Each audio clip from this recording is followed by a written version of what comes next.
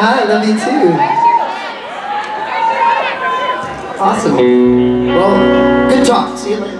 Um, next up, we have a guest. Well, he's a guest. And uh, you've seen him all weekend, but surely there are one or two things you haven't been able to ask. You get them all to yourself. That's right. Mr. Richard Speight Jr.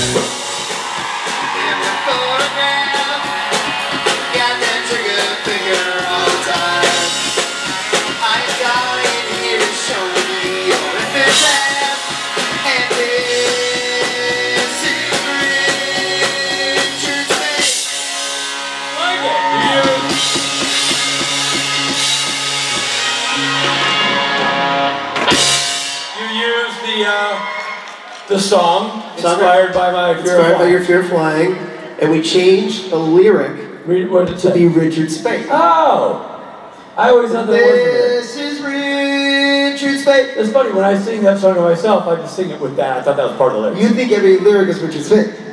Every Richard Speight is Richard Speight. is I Richard fell Speight. into a burning Richard Speight. Yeah. Uh, Richard Speight and Richard, Richard Speight. I have two things to discuss before you guys step off stage. Number one, these are the matching glasses we discussed on Friday. For those, for those of you who want to get a close shot of the matching glasses, they are exactly magic. Then you know you're old when people are screaming, take it off, and they mean your glasses. Angry Rich? Okay.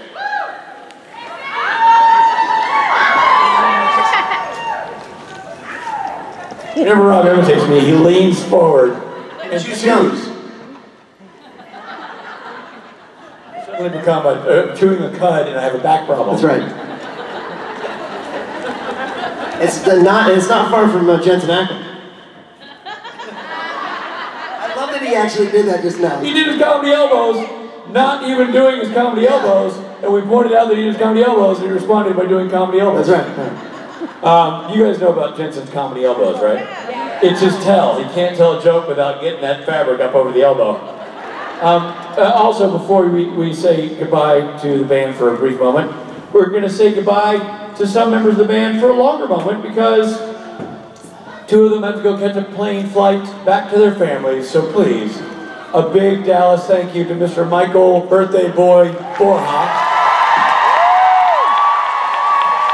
and Mr. Billy, I'm sick of talking about Michael's birthday, Moran. Taking off. Gentlemen, thank you for a fantastic weekend. Round of applause for these guys, please. Fantastic show this weekend. Get home safely. Everybody will see you in Vancouver. There they go. Have a good panel, buddy. Thank you.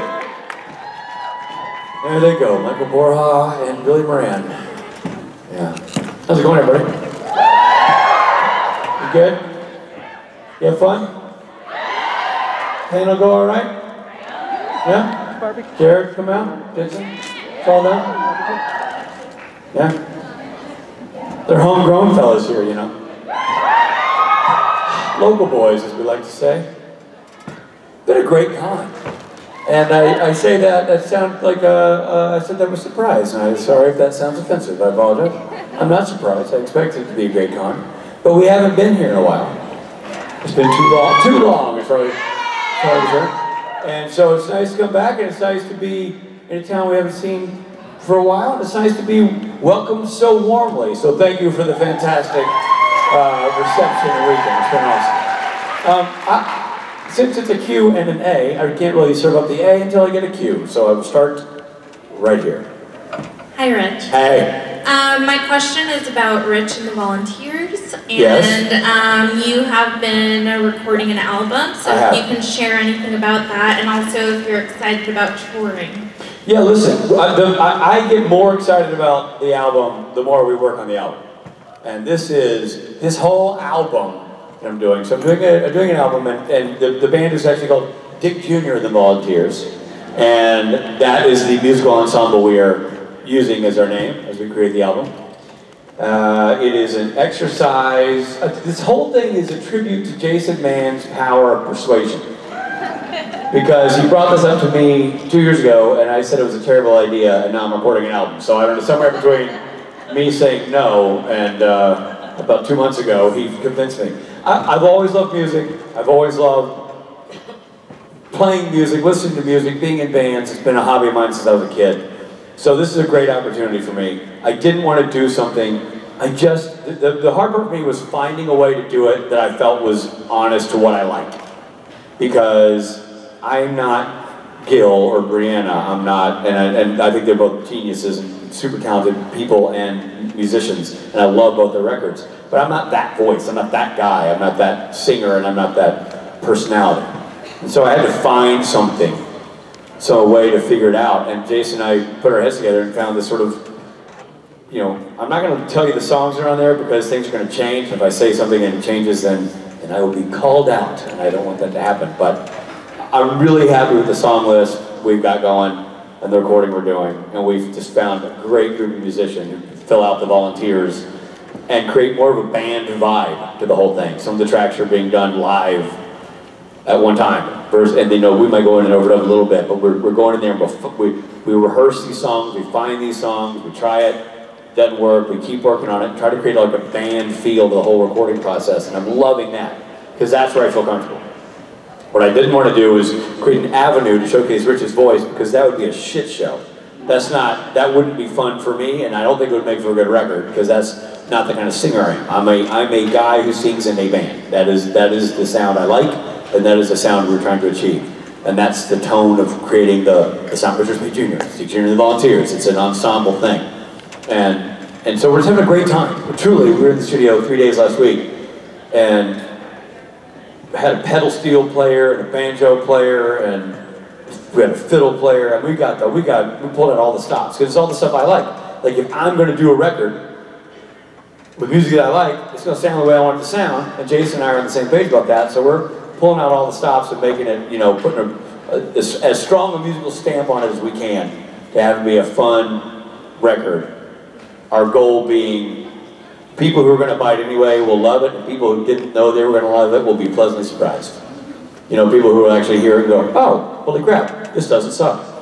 You know, and the, that hopefully that'll be one of our first reviews. Shockingly not shitty was the, uh, this, this reviewer found it. Um, so that's, you know, that's what's going on. I, I don't really get too deep into the song list, but, you know, we're, we're calling the, the, the genre drunk country because not that we're drunk while we're doing it, but it just, you know, I love Steve Earle, I love Sturgill Simpson, I love George Jones, I like the old school stuff that has like a real stank to it, and that's what we're doing. And we're having a good time doing it. Thank you, by the way. And by the way, just a, a slightly musical comment. Last night, we played a Nirvana song. And I gotta say, that was a blast. And we, we decided to do that two hours before the show. We had never played it. Billy and Mike had never heard it. Uh. As we played it to on our phones, we were just dinking around in the green room, killing time, and started going, Mom and Dad we do a show. Right. Because I wasn't going to sing a song this night because my voice is kind of off. And I was like, oh, that's, a, that's just kind of talking. I could make Rob do the high part. I was like, I can do the high part. I'm like, we should do that song.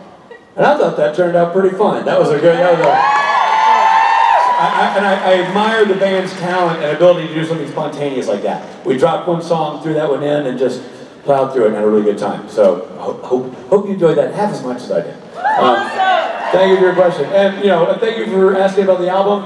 Uh, I hope you're looking forward to it because I think it's going to be fun. Thank you so much. Here. Hey. Uh, my question is kind of silly, but it's for you and you as Gabriel. Uh, are you Team Captain America or Team Iron Man? And are you Team Jacob or Team Edward? what was the second? Team who? Team Jacob or Team Edward? Who the hell are Jacob and Edward? Well, I'm a, I'm a 50 year old straight man. I don't give a shit about Twilight. Um, I, uh, I don't give a crap about Twilight. Uh, so I don't have an answer to that one. But I'll say, uh, what was the other one? Captain America or Iron Man? Iron Man. And that's solely because I love Robert Downey Jr., man. I, I, I, that is a guy for whom I have unwavering respect. Yeah, he was a star when I was a kid. Truly, like my wife is, uh, she, you know, he's so great as Iron Man, and she's not necessarily a film buff. And I, I took her back and showed her Less Than Zero, and like you know, stuff he was doing where he was just mopping the floor with everybody his age when he was 25. And then he had a run in with drugs and alcohol and got himself out of that mess and became a bigger movie star. And I think that's awesome. I think that's a testament to his drive and his focus and a good lesson for everybody that, you know, we're all going to hit potholes, but don't let it make you stop the car. You know, I, I think that's, that's really cool. Um, and uh, in terms of the other fellows doing the vampire thing, uh, who are you for? Yeah, Um, Edward, yeah. Edward. Yeah. Because I like Robert Pattinson. So. And what's the difference between Edward and uh, who? Vampire and uh, Werewolf and a vampire? Yeah. Isn't Twilight about vampires? Yeah. Yeah. I mean, you know the name, but you say you don't know it. I know Twilight. You just said the names five times. No, I've never seen a Twilight movie, but uh, I was gonna back your play as like a solidarity. So, yay wolves! Yeah, yeah, yeah. Rah rah, roar roar wolves. Thank you very much. Hi, Rich. Hey. Um, so I want to say first that you are my favorite like character. Gabriel is my favorite character. Awesome. Thank you. Very kind of you. And so I wanted to say, who else, if you had the choice to play, if on Supernatural, if you wanted to play someone else, though Oh, would, would I, would I play another character? Are you asking Like if I? not playing as your character, like playing as like Sam, Dean. Or would I want to be somebody else?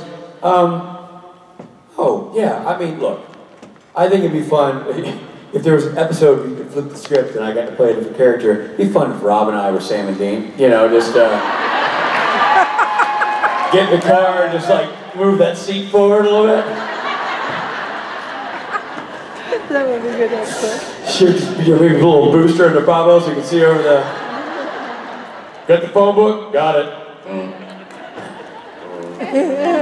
uh, I, you know, in terms of like the, the supporting characters of which I am one, I, I- I think everybody's perfectly cast. I wouldn't want to step on anybody's toes and, and step into anybody else's role, but I think it'd be fun as heck to have Robbie and me be Sam and Dean for a, for a day. That'd be cool.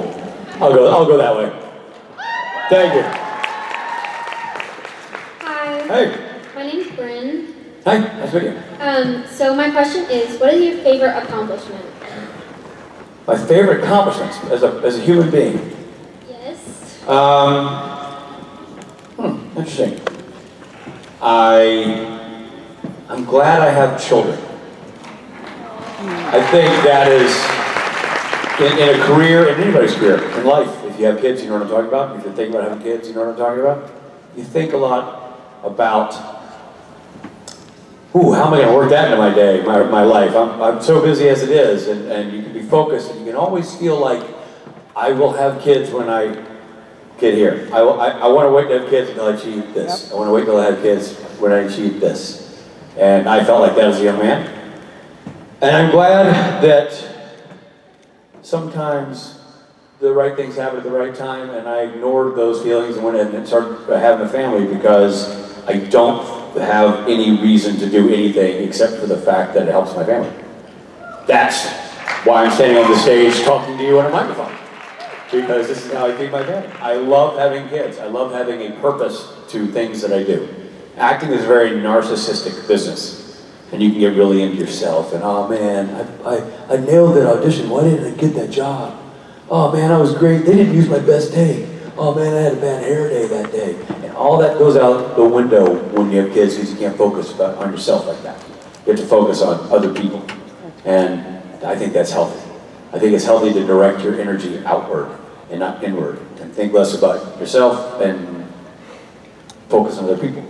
And how can you make life better for those other people? How can you make situations easier for those other people? How can you rectify things you may not be proud of or may not have done well in your own life when, you know, educating and raising other people? These are ongoing challenges. As you know, for people who are parents, it's like, you know, it's like standing on a log. It's constant movement to stay standing up. Always having to keep keep thinking and moving and, and adjusting to be sure you're doing it right. And you fall in the water and you screw up and you mess up. And seeing human beings develop in front of you is a wonderful thing. I think that, and that's not even an accomplishment. I, I gotta attribute my wife to being really the better of the parents. But I, I, but I do my best to be, to do my half, or my, my quarter. I think she does most of the heavy lifting. But I truly love that experience, and I love having children to go home to. And I love having children. Uh, uh, I had an interesting conversation last night. I have a son with me here. I have three sons.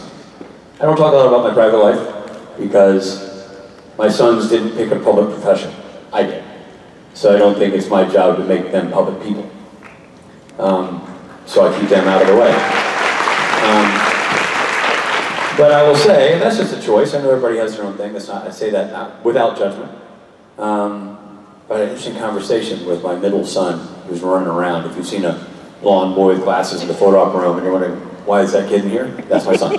Um, and he's after the concert. My he had never seen the concert, and he was running around doing other stuff. I mean, his idea of seeing the concert is running around, you know, like playing with the staff and having a good time with the handlers and everybody. But he, after, last night we went to bed, we were going to bed, he goes, Dad, you're a very talented man. And I said, well, thanks, buddy. He's like, you sing really well, you play guitar. Rob thinks you're really funny. I think you're a really talented man. And I was like, thank you. And I thought that was a neat moment because he sees me only as a dad. He doesn't see, he's never seen Supernatural. He doesn't see things I do. He doesn't know what I do for living. This is all he sees me do. Um, so it was interesting. It was an interesting conversation. I, I, I diverted from your, from your, your uh, topic. But I will say this.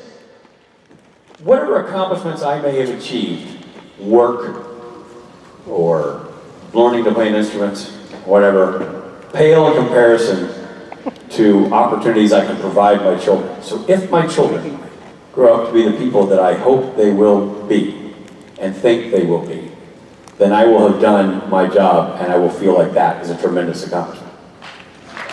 Thank you. Hi. Hi. Okay, so firstly, I had a photo op with you and Rob earlier, and I gave him a hug, but I forgot to give you a hug. I'm low-key sad about it. But my question is, how did you become such a meme? Like, did it start with your childhood, or Such a just- what? A meme, The hell's a meme? like an internet joke, like, haha, funny joke.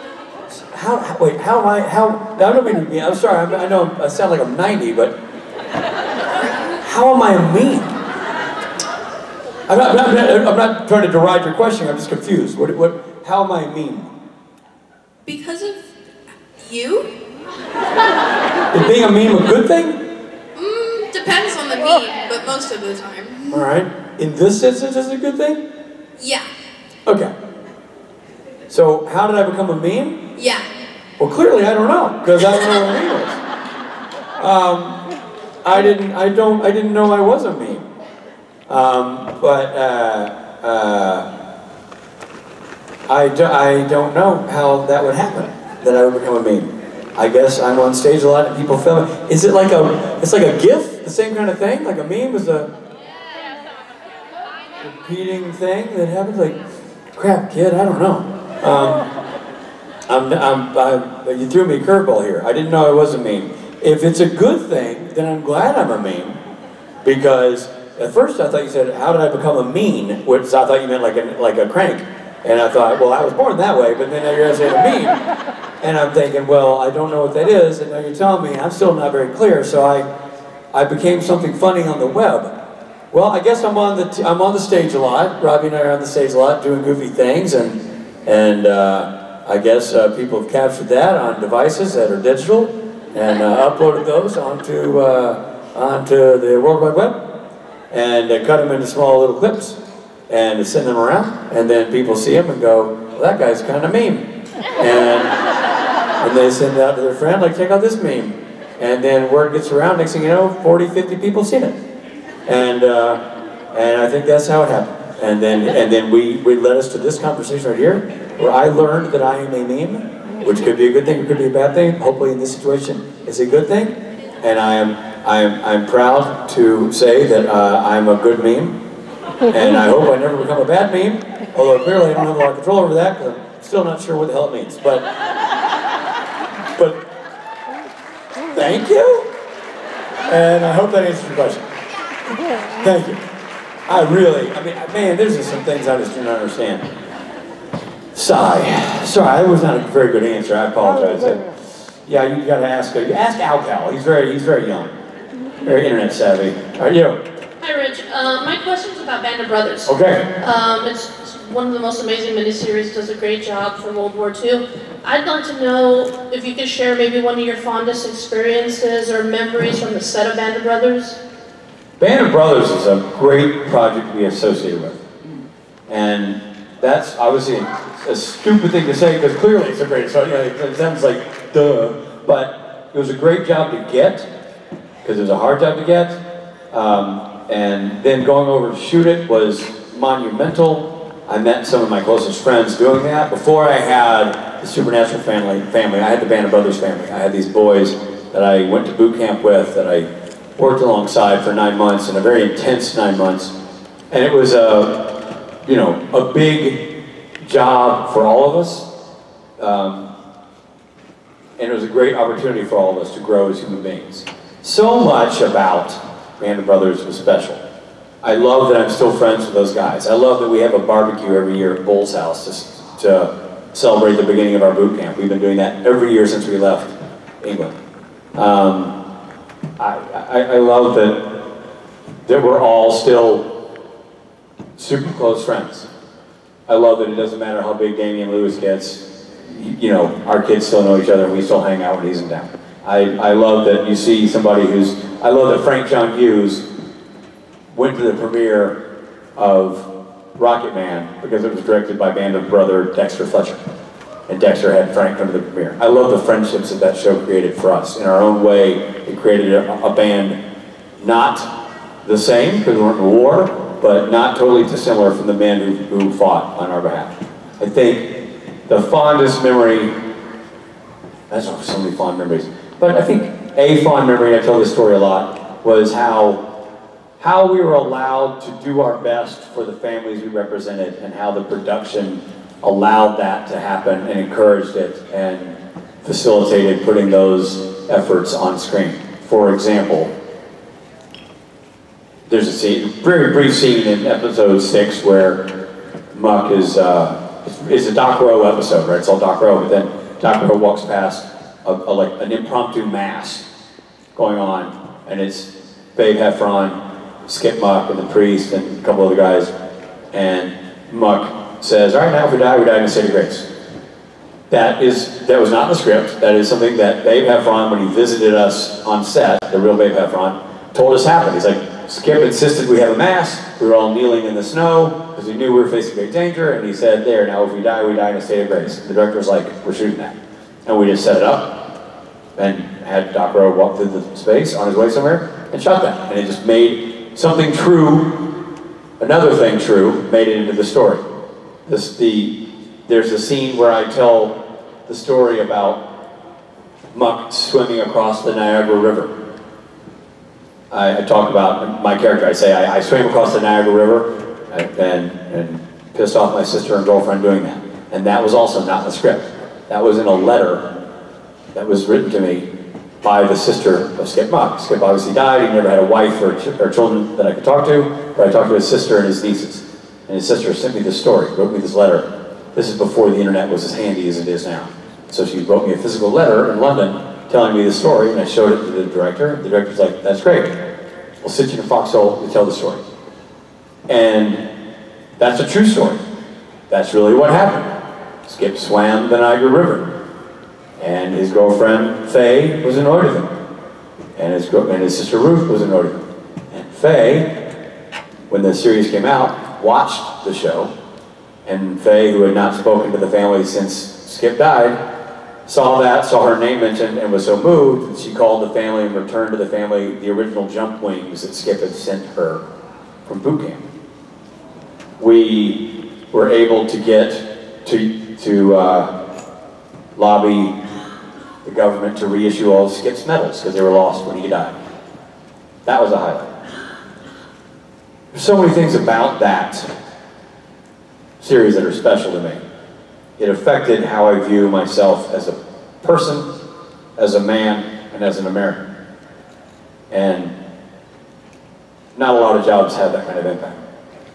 I can't fathom being those men. I can't fathom having, I'm not sure people are made like that anymore. I hope we don't ever have to test it, but I don't know, because it was, it was an extraordinary time for people, you know, people who, those, those men, the, the first 20 times they ever saw an airplane, they were jumping out of it. This is a different time. And I thought it was, a, it was remarkable to put yourself in that situation, to learn from those guys, from the veterans, to talk to those people, to see the devotion of Tom Hanks and Steven Spielberg trying to tell that story correctly. Just to be a part of the whole thing was, was remarkable. And, I, and I'll tell this little piece of Hollywood trivia along with it that I think is fascinating. I talked about it in a meet and greet. That, so Skip swims the Niagara River. He's from Tonawanda, New York. Swims across the Niagara River, which is very wide and very fast. So if you get too tired and you're swimming the Niagara River, you're going over Niagara Falls. Dead, which is why it's dangerous to do. And so this part of the story I didn't know until after the fact. So what, what I said in the in the miniseries about him swimming is what I knew to be the truth. What also happened, another detail that I did not know, is that when he swam across the Niagara River, they were, his buddies were worried that he was going to get too tired, so they had somebody in a rowboat row- rowing alongside to be sure that if he got too tired, he could grab onto a boat.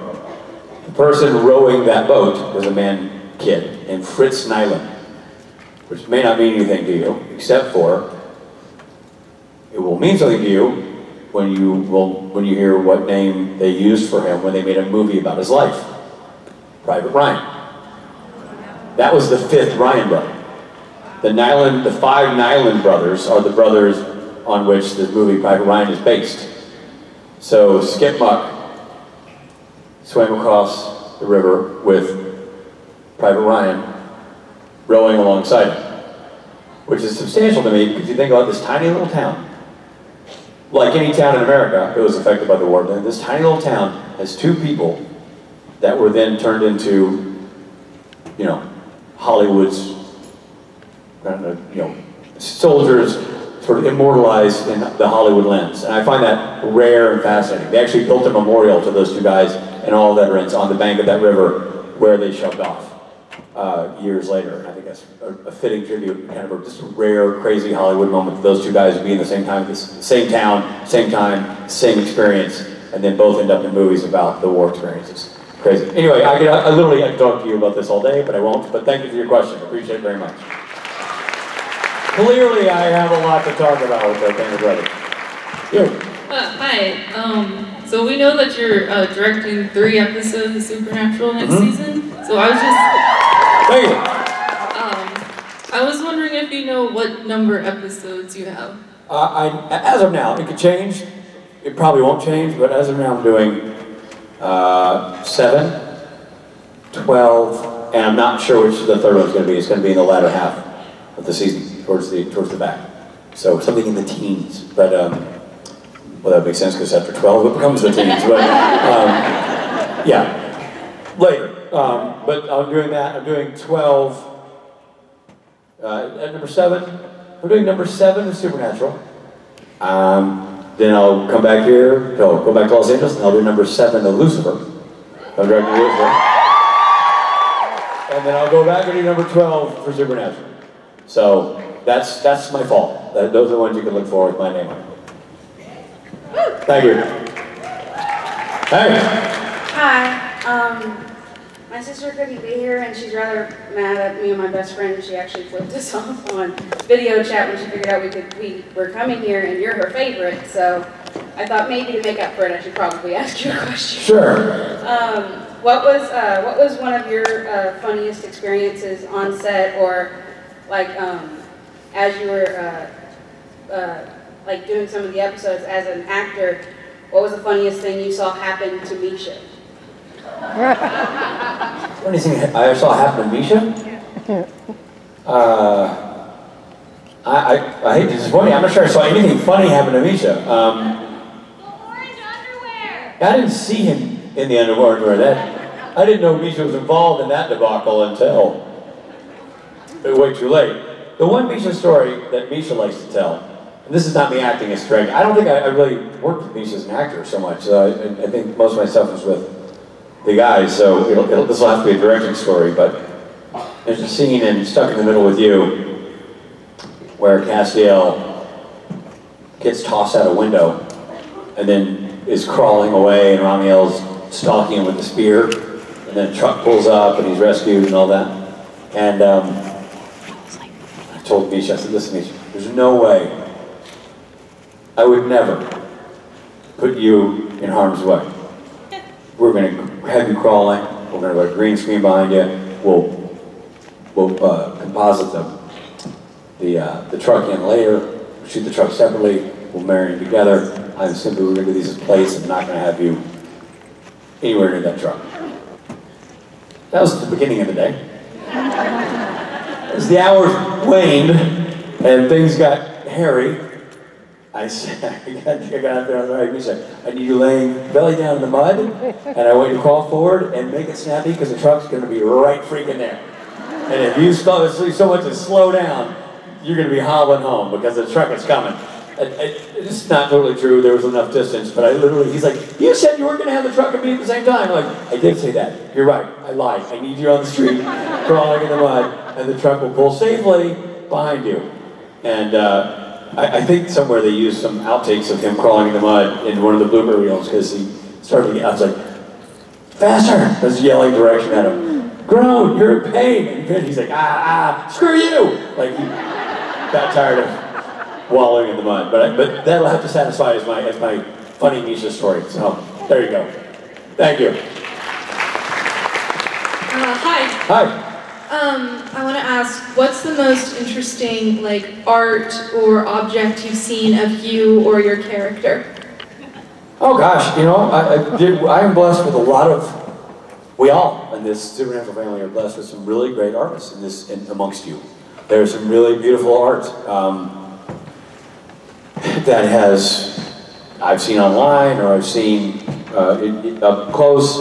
Um, there have been some, you know, beautiful paintings, digital art, sculptures, pop art. People I've seen Gabriel made out of rubber bands. I've been woven, uh, turned into a pillow.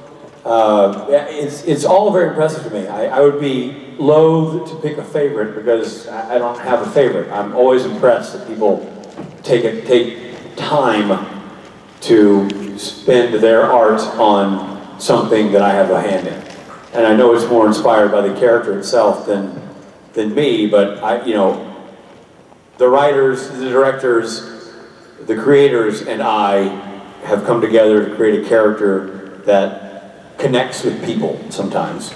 And when those people then are inspired to write a story, write a song, write a poem, paint, uh, sew, or mold a figure that has been inspired by that performance or by that episode, I think that's fantastic. So I, am I am deeply impressed by everything that crosses my path, be it digitally or in person. I'm, I'm, I'm always impressed. I'm always moved by it, and I think it's awesome. And I think it's great because art is so important, and it's so great to have an outlet. And if this, if, if this show or any show inspires that kind of reaction out of people and they then go and do something creative and use that part of their brain and their hands and their body and their intelligence and their heart, that's wonderful. So I won't pick a favorite because I like it all. I think it's all awesome and all impressive. And I, you know, people ask sometimes about fan fiction. You know, ah, what do you think about fan fiction?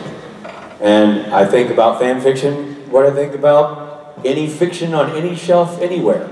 Good for you. Good for you for writing stories. For, for using your mind and using your brain and following your heart and telling your story in whatever way you want to tell it. I think it's awesome. I think it's great that the show inspires people to do those kinds of creative things, to create thoughts and memories for themselves that they sometimes share with us. So I, I feel nothing but appreciation to be a part of that process. Thank you. Oh, Um, if you could meet any character from Supernatural in real life, who would it be and why? if I could meet any actual character, God. To prove that there is one. That would be neat. And I go, aha! I knew it! Um, that, to me, that would be the most fascinating character to me. Because obviously, he's a kind of a big, he or she uh, today is kind of a big deal. So, it would be, um, you know, we, we all have this imagination of what we think that would look like, but to, to actually, if it were a real thing or we're talking about a real situation, that'd be kind of crazy. So, I'll go with God. What about you? Do you have somebody you would meet? Um, probably Charlie. Yeah. I get that. You know, I really, I loved getting to work with Felicia. That was super cool because I got to direct her in an episode, and I've always been a fan of hers. Uh, not just because I think she's great on the show and great at what she does, but she's also just, uh, I mean, I think she's a force of nature. I think she's just a, a cutting edge talent who was doing edgy, cool things uh, before anybody else. She's a pioneer of sorts, if you will. Uh, and I admire the hell of what she's done with her career and her life and how she handles everything around her and her success and her passion and her, and her art and, uh, and her business. She's just incredibly savvy and funny as heck. And it was a real treat to get to direct her and work with her finally. And I was intimidated by it. Very intimidated by it. And I think she's so cool. And we ended up having a really good time. So I think that's a good choice. I salute your choice. Thank you. Hi. Hey. Um, really quick, I just want to thank you for your portrayal of Gabriel because it really motivates me and it's why I'm um, pursuing the career that I am. Um, Great. So my question is, you mentioned Lucifer earlier. Um, I want to know what was like directing an episode of that show and if you have any fun stories from set. Uh, I, I loved directing Lucifer. Uh, it was, you know, it was a big deal because I was directing something other than Supernatural, and I've been where I'd been directing many episodes, and at some point I needed to leave the nest and direct other shows, and I was really uh, thrilled to get a chance to do Lucifer because I already liked the show, I already loved the showrunners, and I already loved Tom Ellis, and, and uh, had met him, thought he was just a class act from stem to stern. Thought Ildy and Joe, the showrunners, were fantastic people, helming a great show. I thought it had elements that, that fit uh, my skill set and that it leaned into the drama, but also played in the comedy space and does a lot of fun character stuff. So I, I just loved it. Uh, it was very intimidating to go there because, yeah, it was intimidating to start at Supernatural, but at least I knew them. I didn't know anybody at Lucifer. I didn't know any crew people. I didn't know.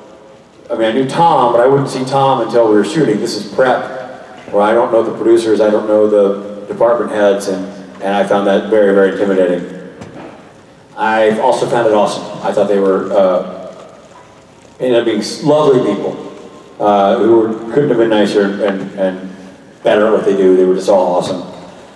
Um, I think we had a lot of, you know, any giant laughs on set. I, I don't necessarily recall anything hilarious happening, but it was certainly a fun experience. You know, I, I, I get the question a lot, what's the difference between directing Lucifer? What, what were the, some of the differences between doing Lucifer and Supernatural? One of the differences is uh, Lucifer, uh, they, they don't care that I'm there. They just want me to do a good job. I'm not friends with them, you know, and so it was, it was just sh- showing up to a place where they expected me to do my job and to do it well, and there was no like, you got this kid, because I'm no longer a freshman. They just wanted me to show up and do my job.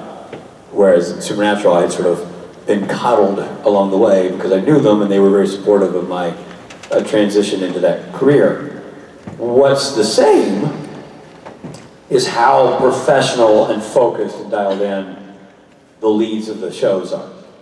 Um, you you can't you could say what you want to say about the writing on Supernatural, when you've liked it, when you haven't liked it, what season you like, what season you don't like, what episodes you like, what episodes you don't like, about the directing, about the, the, the characters, the big bads, who they kill, who they don't kill. You can say all these things, you can have this debate for the last 14, going on 15 seasons.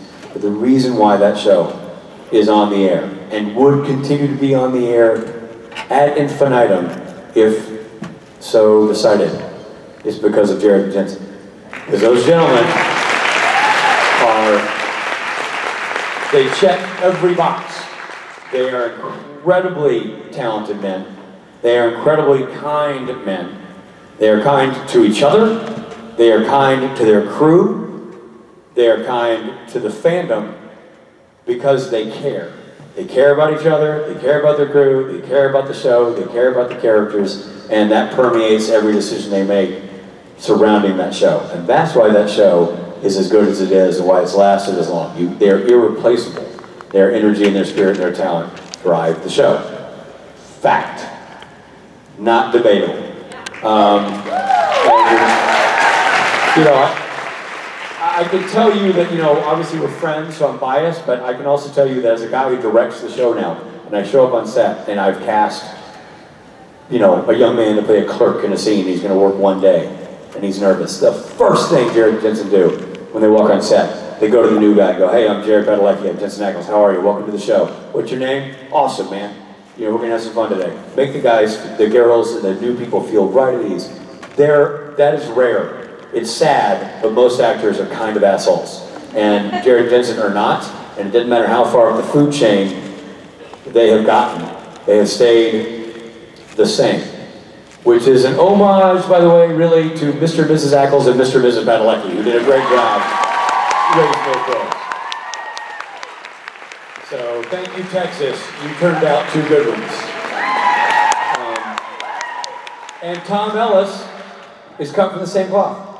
Tom Ellis and Lauren, but I work more with Tom, is the exact same. He is full of light and life and energy and joy and, and understands the gift he's been given to be the lead of the show and is excited to spread that joy to everyone he meets. He's incredibly kind, incredibly prepared, uh, incredibly uh, energetic and easy to work with and committed. And so it made, once we got into production, and of course he's the he's Lucifer and Lucifer, so his tone permeates the whole vibe, and it really makes it a pleasant place to go to work. So in in in that regard, those shows have that similarity. They're blessed with really gifted leads who really care about the show and the actors and the crew and the content of the of the of the piece itself. So it's really awesome. Thank you, by the way. Hello there. Hey, how you doing? Excellent.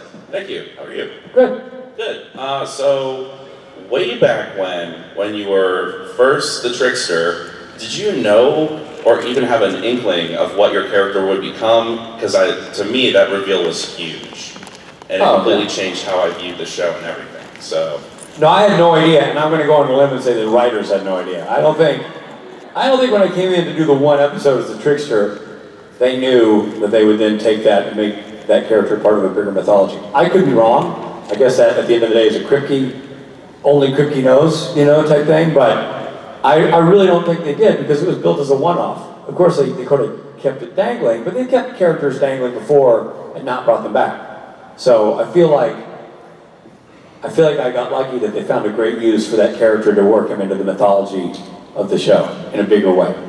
Um, and yeah, that's a huge deal. I mean, to go from doing a one-off to being, or then doing a second episode, but then suddenly you're really part of the big picture of the show, the big arc. It's awesome. It totally changes the character's value in the universe, so to speak. So um, I don't think they knew. I'm glad they made that decision on the fly, though, because I don't think I'd be standing here talking to you if, I, if they hadn't.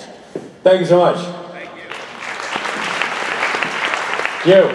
Hey, sorry, my question's a little unoriginal. I asked Rob and he liked it, so I hope you like it. Okay. Um, if you had $100 million to make the perfect movie, what would the plot look like? I wouldn't spend hundred million dollars on a movie. If I personally had hundred million dollars, I don't know. I would probably. What could I live on? I think I would give away ninety million and go live peacefully with my family on an island somewhere. I'd get out of the business. Um, and so I, I uh, so I don't know how to answer that because that's uh, a bit of a trick question. I don't know what the plot would be. I went to was- Mars. If I was going to be, what do you say? I, sh- I have a movie. What was your movie? Oh man, it's a great film. He said he asked you the same question, right? Yeah, yeah. I, um, it's a movie about I'm an astronaut. I go to Mars. Yeah. And I come back, and all this time has passed. It's one of those kind of things Yeah. where like time moves differently on Mars than here. Oh, like Planet of the Apes? Yeah, maybe. Then I, I when I come back, my kid is full grown, and he's my age. Right? Yeah. Still with me? Yeah.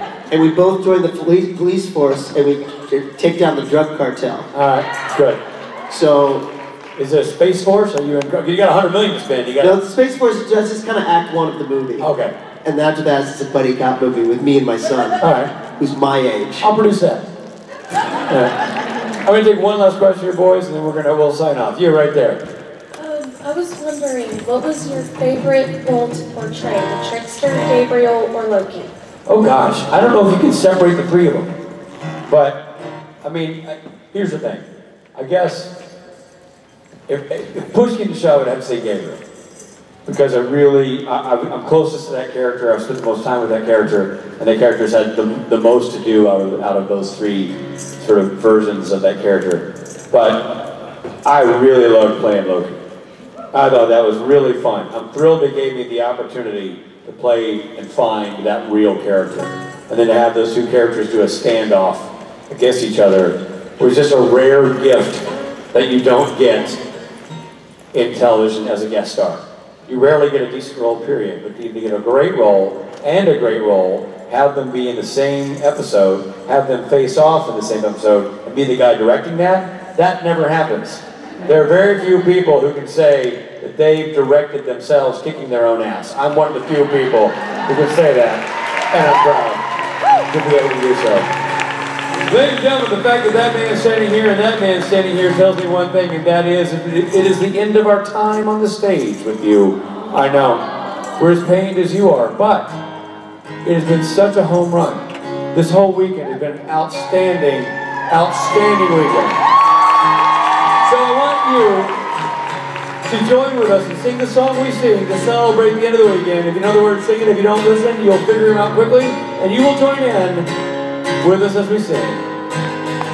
It's the end of the con as we know it.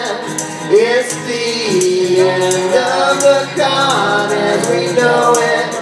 It's the end of the con as we know it. So go home. After you get your autographs and your photographs, don't leave just yet.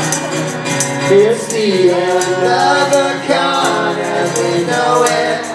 It's the end of the con as we know it. It's the end of the con as we know it. So go. On behalf of Mr. Stephen Norton, and my partner in crime, Mr. Rob Benedict,